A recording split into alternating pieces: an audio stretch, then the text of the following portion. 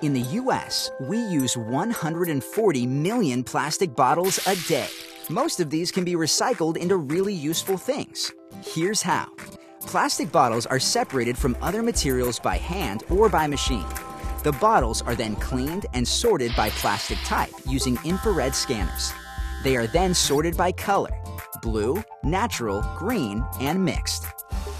They are then shredded, melted, and reformed into pellets, which can then be used to make t-shirts, plastic bags, or more bottles.